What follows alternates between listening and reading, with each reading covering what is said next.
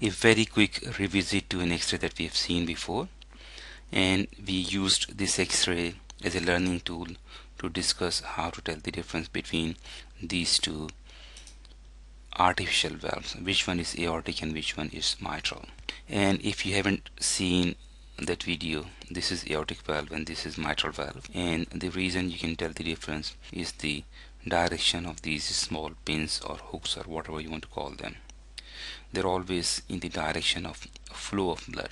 So for this valve the blood is flowing from this direction to this direction from left ventricle to aorta which goes in this direction.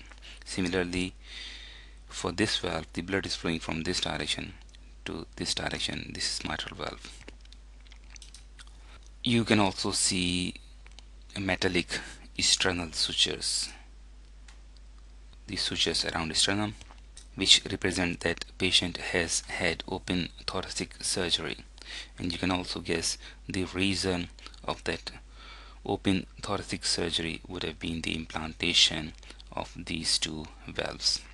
Despite of the fact that this is an AP view anterior posterior view you can confidently say that patient has cardiomegaly usually the radiologist would not comment on cardiac size if the projection is an anterior posterior projection because the cardiac size looks artificially enlarged.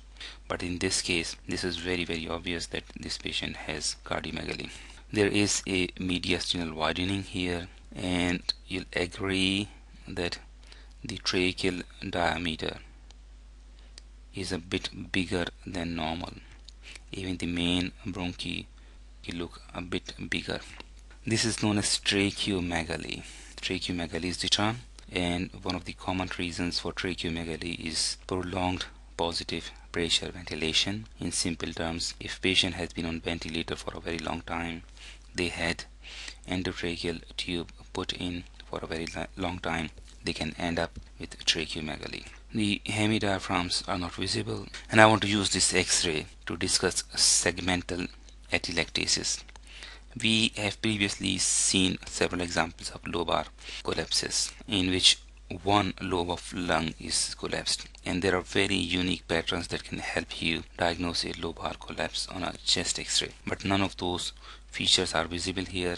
Yet patient has some lung tissue that is collapsed and this is segmental collapse here. Right upper lobe has three segments. One of these segments is collapsed. And there is some collapse consolidation here as well probably here and I would assume there is a little bit of pleural effusion here in, in left costophrenic angle. Thank you very much